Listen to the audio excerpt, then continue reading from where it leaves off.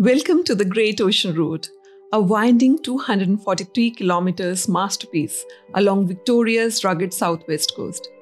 But did you know that this breathtaking drive is more than just a scenic route?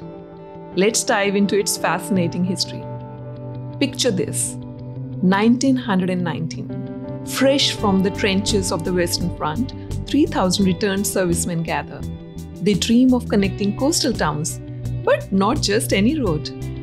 They envision a memorial, a tribute to their fallen comrades. Carved from wild cliffs overlooking the Southern Ocean, the Great Ocean Road becomes their canvas.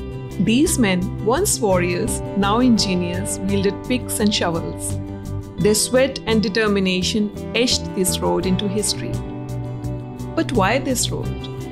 Australia faced a dilemma. With 350,000 men returning from war, how would they reintegrate into society? The Great Ocean Road was born out of fear a fear of civil unrest, of dissatisfied men roaming the streets. William Calder, chairman of the Country Roads Board, proposed the South Coast Road. Private endeavour with a public purpose, it would link Barwon Heads to Warrnambool, hugging the coast. But it wasn't just a road, it was a lifeline, a way to avoid social upheaval. The Great Ocean Road became the world's largest war memorial. Each curve, each cliff whispered the names of those lost.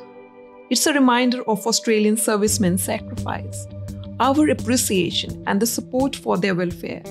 So, as you drive this winding path, remember the Great Ocean Road isn't just asphalt and views, it's a tribute, a permanent memorial to courage resilience, and the enduring spirit of those who served. The Great Ocean Road, a journey through time, etched in stone.